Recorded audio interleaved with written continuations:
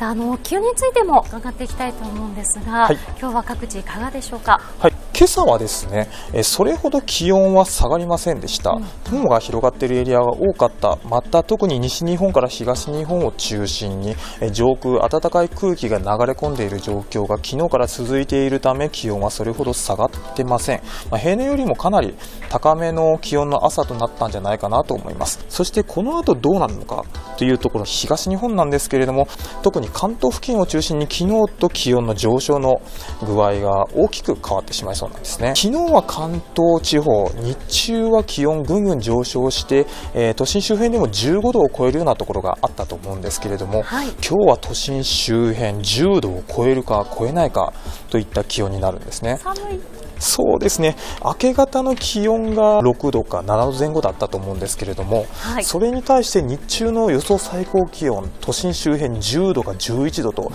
朝と比べてもほとんど変わらないんですね。となると、このまま気温が続くので、はい、やっぱり暖かい服装は必須なんですね。そうですね。もう日中、雨、雲が広がったり、雨が降ったりして、まあ、日射はほぼほぼないですし、また北東からの冷たく湿った空気が流れ込むということで、その気温が上がらないということで、もうその寒さ対策ですね、明け方だけではなく、日中に関してもしっかりと行っていただく必要がありそうです。